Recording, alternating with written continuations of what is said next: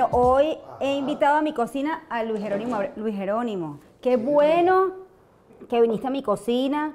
Qué, qué bueno que la pandemia te dejó aquí.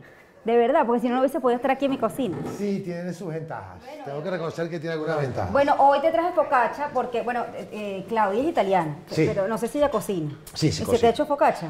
Eh, sí, ¿Sí? sí. Sí, entonces, sí. bueno, vamos a. Entonces, Más veces pizza que Bueno, focaccia, pero focaccia Te, también. te voy a picar un poquito. Tienes que decir que está bien la focaccia. ¿Cómo no? Ah, sí. Como esto no lo va a ver a decir que está mejor que la de ella. Ah, no, no, no, no me quiero tener problemas. No quiero No, violencia no. doméstica eh, con ella. No, no. Mira, oye, cuéntame. que no lo vea. Cuéntame esto de la pandemia. ¿Qué, qué fue lo que pasó? Tú estabas aquí y te cerraron todos los vuelos.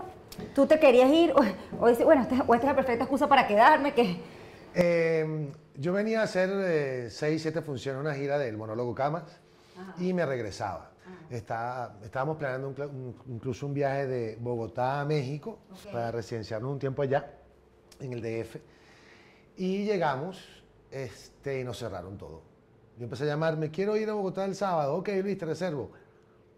Mm, Está buena. muy buena. Sí. Sí. Ujú. Sí está. Sí, sí está buena. Sí está buena. Pero, pero que me lo digas no como Claudia cuando cocina y tú dices, "Está, mi amor, está todo muy bien, está, está chévere. No, no, esta vez sí. no, eh, intenté irme por Panamá, también me lo cerraron. Y nos quedamos. Fue un shock porque este, tuve que cambiar de- del apartamento allá a mi apartamento soltero, donde no cabemos, donde es muy pequeño. La mudanza tuvimos que hacerla con José Luis Zuleta, mi compadre, que está en Bogotá, vía WhatsApp. Esto es tuyo, compadre, sí, para la caja. Esto es tuyo, compadre, sí, porque después de cuatro O sea, a meses... ti te mudaron. Claro, pasaron cuatro meses y el apartamento estaba cerrado. Entonces estábamos aquí propagando el apartamento de allá, los gastos de allá, el colegio de allá, todo lo de allá. Entonces dijimos, ya no podemos mantener este ritmo. Mandamos a hacer el apartamento en Bogotá, eh, la mudanza fue puerta a puerta con una compañía amiga, el compadre así metiendo las cosas en la caja, eh, donde estaban las cosas de cocina y mi ropa interior, pero como hacen los amigos la cosa, vamos, una vez, que esto es para mañana, vámonos, ¿no? Eh, fue un shock, correr a buscarle al Colegio de Salvador, por si arrancaban presencial en un momento determinado. Fue un golpe, ¿no? Pero bueno, este, nos acostumbramos rápidamente a nuestra casa. Ahora, pa- para, para un actor debe ser complejo el tema de la pandemia, porque definitivamente la industria se paraliza. O sea, progresivamente ha ido, pe- pero en tu caso tú incluso, bueno, tu participación en, incluso en streaming, o sea, tú, tú llegaste a ser Bolívar. Y, y- y me imagino que otros proyectos, ¿no? ¿Hay algo positivo esta pandemia desde el punto de vista laboral? Es que los actores creo que tenemos eh, una ventaja. En general, eh, eh, en nuestro sistema de trabajo en Latinoamérica, estamos acostumbrados a tener un periodo de tiempo sin trabajar, donde hacemos teatro u otras actividades. En Venezuela estamos acostumbrados a que si una novela, esperaba seis meses para hacer la otra telenovela, más o menos era el tiempo, cuando tenía suerte, hay gente que esperaba mucho más tiempo. O si tenías más suerte aún, pegabas una con otra, era lo más raro. Entonces esos primeros seis meses tú lo tomabas como Ok, este es el periodo entre proyecto y proyecto. Cuando ya pasan seis meses, dice, ya va, perdón, tico. Cuando pasa un año, empieza la, la alarma a sonar.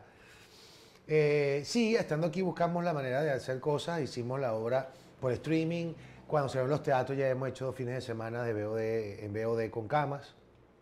Pero Sí, que no esa presión, falta- claro, que esa presión, digamos, de estar sin trabajo es algo que usualmente un actor Vive, no es nueva. No es nueva. tan larga. pero no tan larga y sin, y sin proyecto futuro, ¿no? Entonces un momento que dices, ya va, pero ¿cuándo va a arrancar esto en serio? ¿Cuándo va a haber?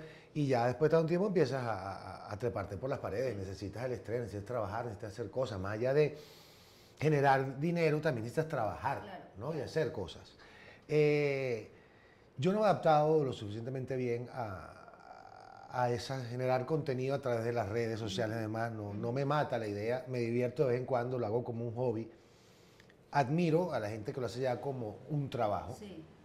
Eh, los admiro porque realmente yo, no- o sea, me parece, para mí es muy difícil. Tú estás acostumbrado a, bueno, a que hay una estructura, un Exacto. patrón, un guion. No, y eso de que trabajar 24 horas del día, porque es, es impresionante. He visto gente que en cualquier sitio está con el teléfono prendido 24 horas porque está trabajando. O sea, hay, hay gente que capaz que critica, no, no suelta el teléfono, no, ya. Hay personas que están trabajando. sí.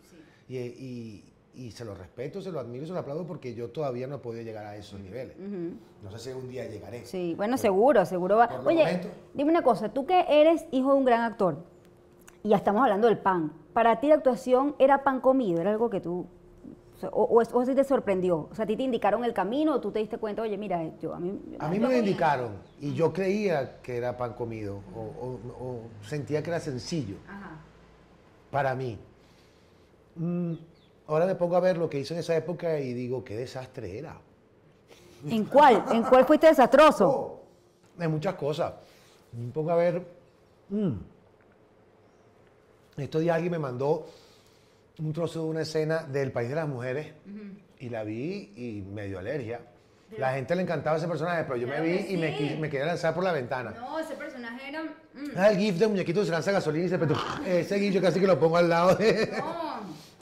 No, no, no. eh, Además, yo, bueno, es más, yo creo que esa, esa, esa novela marcó un antes y un después, al menos en tu carrera aquí. Sí, claro. Esa fue la, la- la- la- la novela que me pasó de ser un actor juvenil que hacía cosas o infantil que hacía cosas a ser el protagonista juvenil del país en ese momento, el que estaban los ojos puestos para generación de relevo los próximos protagonistas. Incluso hubo un momento terminado donde la próxima novela del canal se planteó en comité, que yo me enteré después con los, con los chismes de pasillo, que éramos Gabriel y yo. eh, hasta que apareció la novela que iba a venir y, el- y el protagonista tenía que ser mayor que la protagonista, entonces ya yo no quedé, quedó Gabriela y, re- y repitió Víctor Cámara.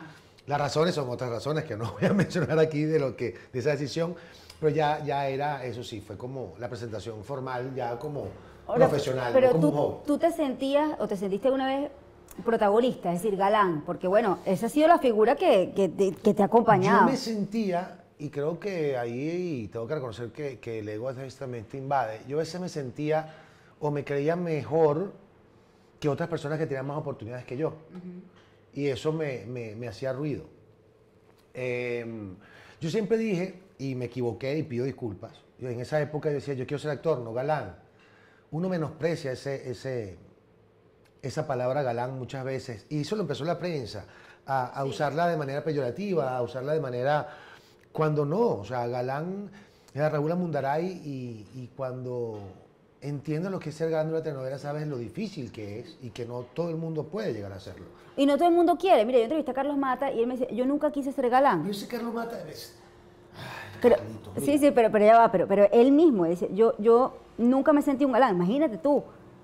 El, el galán de todos los tiempos. Claro, pero es que también Carlos lo dice con su modestia maravillosa, que yo lo amo y lo quiero, pero él en el fondo sabe que es una gran mentira. Que él en el fondo sabe que cuando llegó a ese momento de su vida y quería protagonizar era maravilloso para él y aparte todo lo que representó a- a- para él ser. Pero es que es una generación donde, donde la manera de actuar cambió a una manera más fresca y quisieron quitarle el- el- el- el- la palabra galán porque la gente la asociaba con acartonado y no con galantería, que son cosas distintas. Eh, yo creía que, que- yo también, yo decía, yo quiero ser actor, no, no galán. Y me di cuenta que para ser galán hay que ser muy buen actor. Eh, y hay una cantidad de gente que uno le ha faltado respeto con esa tontería eh, pseudo intelectual de, de ser actor y no galán, porque hay maravillosos galanes como Giancarlos, como Víctor, como Raúl, eh, como Orlando, que aunque hayan cambiado la manera de actuar en un momento determinado que apareció el método, que apareció Marlon Brando, donde la gente empezó a actuar de otra manera mucho menos radial que los primeros. Eh, pero galán tiene su significado en una telenovela. Y eh, hacer Bolívar, ¿crees que para un venezolano era pan comido? Porque fíjate, ellos cuando hicieron el, el- el casting, eh, bueno, tú tenías, digamos, no solamente el parecido, además que en el, eh, me imagino yo que también buscaban a alguien que fuese muy criollo, pues, y tú eres un hombre muy criollo. Ellos nunca se detuvieron O sea, ¿tú crees que hubiesen podido agarrar un Bolívar con acento colombiano? colombiano, español, Sí. argentino, buscaron por todos lados. wow. ¿Por qué crees que te lo dieron a ti? Yo creo que fue, es uno de los secretos de los castings. Muchas veces la gente cree que un actor no queda en un casting porque lo hizo mal. A lo mejor lo hizo maravillosamente bien, pero es una visión distinta a lo que están buscando. Una de las cosas más difíciles de un casting es saber qué están buscando. Porque un personaje o una escena tú las puedes, las puedes hacer de 10.000 maneras distintas y afrontarla de manera distinta. Cuando te llega un casting y ves la escena y lo que te dicen es una mini descripción del personaje y dices, ajá, pero ¿cómo lo hago? ¿Mm? Yo creo que coincidieron las dos ideas. La idea que ellos tenían del Bolívar querían y la que yo tenía. Ahí siempre, yo siempre digo que ahí hay una- un factor suerte también, tener como la misma idea. Eh, porque fueron muchos fenotipos y muchos, muchas personas, eh, eh, físicos distintos. Ellos nunca se, se plantearon a alguien que se pareciera. ni que tiene que ser venezolano obligatoriamente. Incluso un momento determinado donde, eh, que eso lo conté a José Ramón, José Ramón iba a ser el joven siempre y cuando yo quedara siendo el, el- el adulto. Sí. Entonces, a él le encantaba, pero bueno, él no funciona si Luis Jerónimo es. Entonces, en ese disyuntiva, José Ramón estaba a la espera de qué pasaba conmigo. Y cuando me avisan, yo fui el que llamé a José Ramón y le dije, no, carajito, eres tú. Dijo, no me digas así, no digas nada, date por sorprendido cuando te lo digan, pero te lo estoy avisando yo. A ver, y yo quiero que me cuentes, cuando a ti te dijeron, bueno, no sé si ese, yo, yo asumo que ese es uno de los papeles más importantes en tu carrera hasta el momento. Sí. No porque los otros no hayan sido importantes, pero bueno, esto es un salto. Los otros me llevaron a este, Claro, claro. pero este ha sido un reto eh, como personaje, como proyecto más grande o más, más- más ambicioso que he hecho en mi carrera, eh, el más internacional también, sí, tiene un punto. Ahora, quiero que me cuentes, aquí que estamos comiendo, estamos en confianza, nadie nos está viendo, cuando a ti te llamaron y te dijeron, eres tú, ¿qué hiciste? Pero dímelo como es, ¿qué, qué hiciste en el momento? ¿Qué dijiste? Totalmente sincero lo voy a hacer. Ajá. El problema es que Pero, pero eh, óyeme, no estamos en televisión, pues, pues ah, yo tengo una, una, una, una amiga de mi mamá y amiga mía que decía, chamo, tú eres como Drupi. Yo, ¿por qué? Tú te ganas la lotería y dices, Yahoo. Chamo, tú no brincas, tú no gritas, tú no te expresas y me cuesta mucho. de verdad no te creo. Sí, pero, pero fíjate una cosa, también es que fue como algo muy accidentado, que no me dio chance de decir, voy a celebrar, porque primero me llamaron a decirme, el comité votó por ti, unánime. Después me llamaron a decirme, ya va, hay un frenazo ahí porque eh, dijeron que el amor está muy gordo. Gordo, en primer video dicen gordo, no sé. Después se me vinieron a llamar, no, si eres tú. Entonces, hubo como Perdón, después de esto no lo llamen porque va a comer focacha, se va a comer toda la focacha, entonces de momento no que me quiero. vaya para la casa. Mira, entonces no fue como definitorio ese momento y yo seguía como una gran duda. Incluso cuando me llamó el productor ejecutivo, ¿verdad? Y me salieron bienvenido. Y yo le dije, gracias. Pero así hablamos por teléfono con él, así como, ajá, cuéntame. ¿Qué hemos estado? Y estábamos hablando, era, era diciembre. Yo me había recién operado las cuerdas vocales. Ah, incluso me llamaron, ¿puede venir otra vez a hacer otra prueba? Digo, me acabo de operar de las cuerdas vocales, no tengo voz. Si ustedes aceptan que yo vaya con esta voz, yo voy, pero esta es la voz que tengo en este momento. Ah, bueno, que déjame pensarlo otra vez, ya va, vamos a ver. Aquí ya va. Sí, Porque había pasado tres, cuatro meses, o sea, fue un, un proceso muy largo. Y recuerdo que me llaman el jefe de casting. Le voy a dar el teléfono, ok, perfecto. Me llama el productor ejecutivo. Bienvenido, hermanazo, no sé qué. Le dije, ya va, chamo, pero ok. Quedé, no quedé, que que ajá. ¿Qué es lo que vamos a hacer? A mí me están hablando que si estaba gordo, que si hago dieta, que si para allá, que para acá. Mire, hermana, vamos a hacer una cosa. Usted va a grabar es en abril. Me dice, yo acabo de operarme, estoy dejando de fumar. ¿Sabes lo que hacer dieta en diciembre sin fumar y recién operado? Esto es un infarto. ¿Qué dieta vas a hacer en diciembre? Come lo que te dé la gana, que tú vas a grabar en abril. Haz lo que quieras y después en enero empiezas a hacer dieta, trabajamos. Ok, chévere, chévere. Pero entonces después de los 15 días me llaman a decirme que hay una foto mía en el Instagram que entonces no había bajado de peso. Esa foto tiene 7 meses, es un TBT, déjenme en paz. Entonces era como, ¿no? Cuando viajo a Bogotá, que dice, ven a hacer prueba de vestuario, yo todavía no sabía si iba a ser o no iba a ser. Me van a llevar para allá, me van a poner la ropa, me van a tomar fotos y capaz, capaz que no. Hasta que uno, yo decía, también tengo mucho tiempo en este medio y sé que muchas cosas pueden cambiar. Entonces decía, hasta que yo no empiece a grabar. Eh, Me parece que es como, tú eres, o en ese momento eras como muy cauto, no te, no te querías emocionar. No, entonces hasta que yo no empiece a grabar, No, no. celebro esta vaina. Sí. Y fuimos, fue cuando me contaron el tamaño del proyecto, cuando probamos vestuario, contamos fotos para la prensa y dije, sí, esto es verdad. Y entonces ahí fue cuando empecé a asimilarlo, ¿no? Eh, pero seguía sin saber el tamaño de lo que era y en, y en- y en el compromiso que me estaba metiendo. Pero nunca fue una celebración explosiva. Fue una gran felicidad, fue, fue mucho nervio, mucho compromiso. Después me, me di cuenta que tenía un peso de compromiso grande encima. Que el sentimiento que tenía no solamente era nervio, era también como compromiso. Y Bueno, porque es un compromiso contigo, con la historia, con la Con historia de un país, momento con el momento político también, claro. Era un gran compromiso con el mundo político porque eh, yo me mentalicé desde un principio diciendo, mira, ni se te ocurra pensar hacer un Bolívar que le gusta a todo el mundo porque es mentira.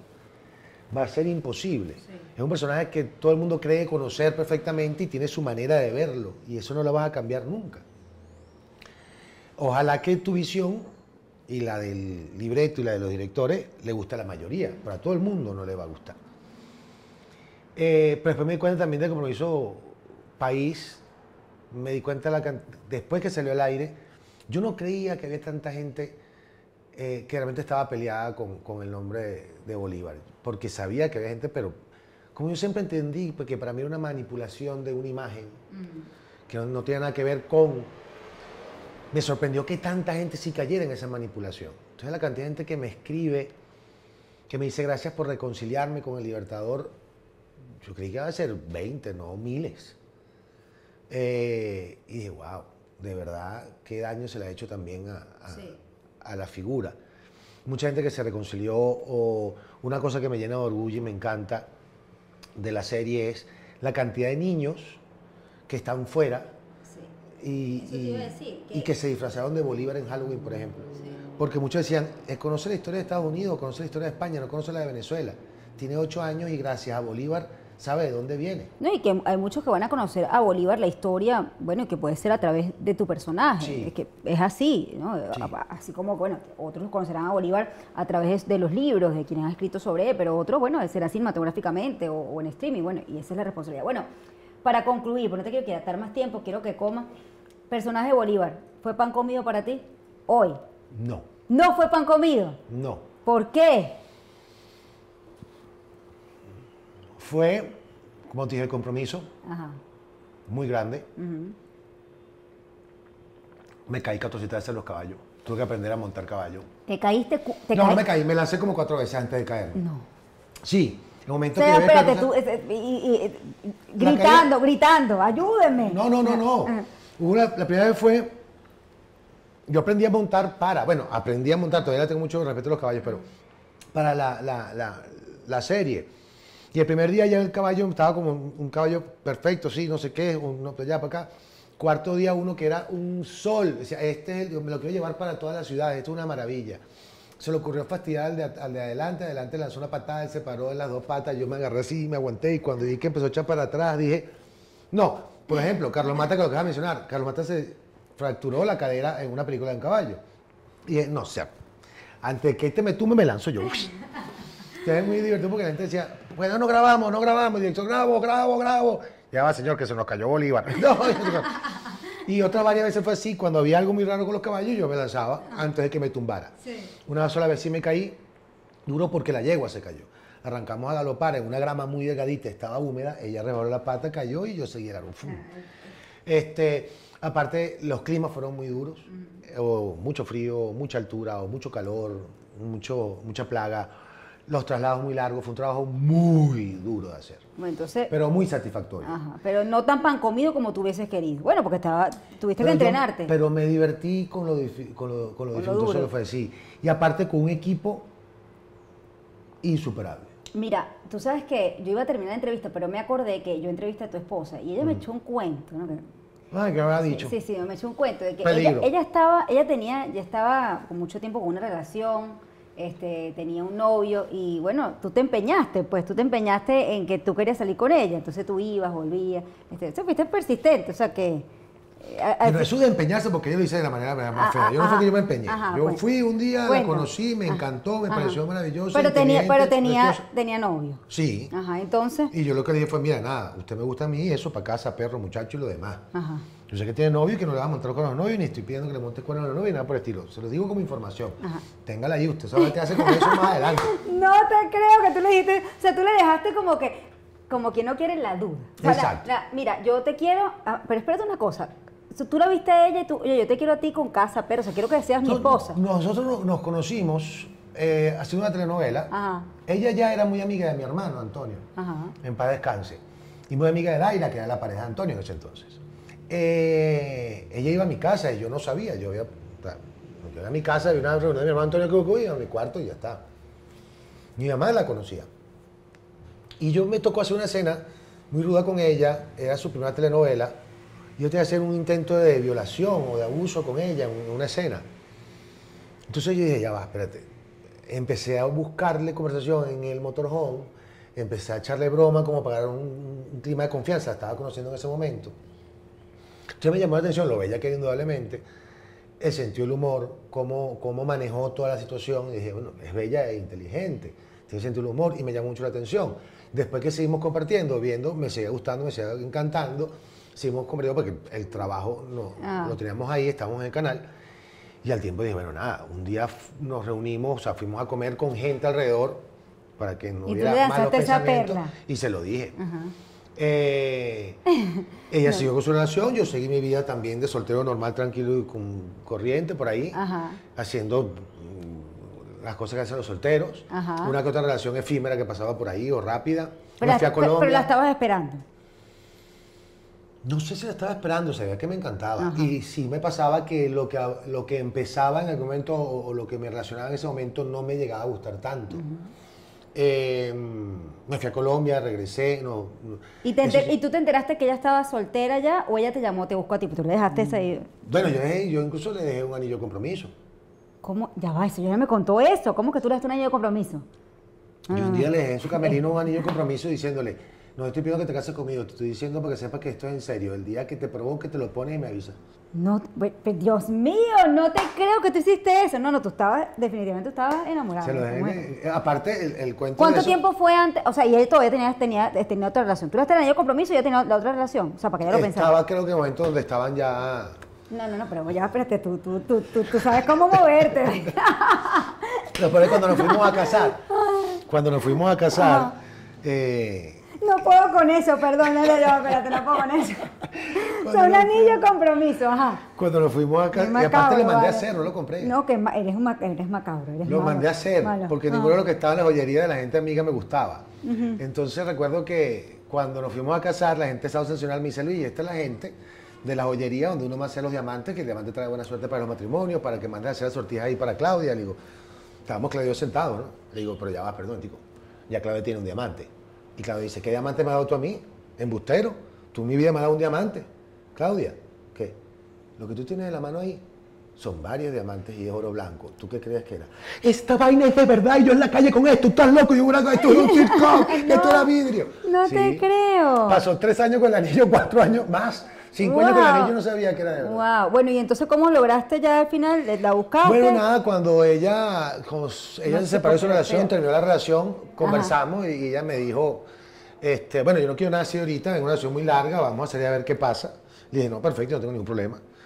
Ese vamos a ver qué pasa se cambió a, a lo- al mes y medio como son como es el género. ¿Y tú dónde estás? ¿Por qué no has llamado? Bueno, ya va. no, como que esto, esto, esto no era a ver qué pasa. ¿no? tranquilo, Entonces, ya sí, va. sí, sí, sí. Dale, no, a ver, no. Este, y así empezó, empezamos a salir este, sin apuro. Pero bueno, eh, a los dos años de estar saliendo juntos decidimos mudarnos. Ajá. Eh, Y bueno, ya, ya el resto es resto. historia. Pasamos dos años viviendo juntos y después nos casamos. Y ese anillo quedó, no, no, no, no, Ese anillo claro, es el no, que- no el que- volviste a invertir en no, el anillo, no, no, no, en el de boda, pero en el de compromiso es ese. ya va, yo- bueno, yo les quiero decir que de todas las historias de pan comido, este señor sabe cómo comerse ese pan dejando ese anillo. No, no, no, eso es una cosa. Bueno, se nota que querías a esa mujer, sin duda Sí, alguna. sí. Sin duda alguna. Bueno, te agradezco mucho. ¿Te gustó la focacha? Está muy rica. pe- tú, tú eres piqui con la, eres así como con la, con la comida, eres exigente, me dijo ella. No, no, yo mañoso. fastidioso. Ah, fastidioso. ella Es que ella, ella aquí con cosas. todo de todo, Eh, déjame Yo decirte. no como muchas cosas. Sí, pero la entrenaste y se aplicó. Bueno, listo. Gracias, Luis Jerónimo. Qué gusto haber conversado contigo. A bueno, pan ustedes. comido. Listo, cómete tu Yo focacha. me llevo eso para la casa. No, no, ya te lo, ya te lo, te lo llevas para acá. Y después la regañas por todo lo que me contó aquí. Me contó un montón de bueno, gracias, Luis Jerónimo. A ustedes. Te cuen- Ya va, espérate. Este cuento es una cosa. Ya, no, no, me quedo loca. Tremendo cuento. Bueno, sabes que yo tengo un- con mi esposo fue algo parecido. Yo estaba saliendo con, bueno, tenía yo una relación y, no, primero yo salí con, mi- con el que es mi esposo ahorita, pero no sé, eh, me conocí otra persona y dejé de salir con él. Empecé a salir con otra persona, me empaté con otra persona y él me dice, mira, bueno, lo que te hace feliz ahora no necesariamente te hace feliz después. Ya sabes, yo cuando termines tu relación, o sea, estaba seguro, me llama. Digo, este qué es, ¿Qué me va- ¿por qué va a apostar a negativo, o sea, pa- a la mala? Pues mi amor, tenía razón, estoy casada. ¿Qué te parece?